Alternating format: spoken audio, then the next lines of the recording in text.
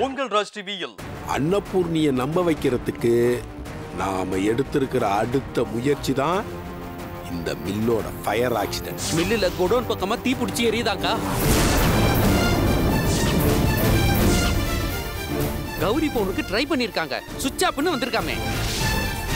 ஆ, அந்த ஜோசியரோட வார்த்தைய நாம எல்லாரும் துச்சமா மதிக்கிறோம்னு நினைக்கிறேன்.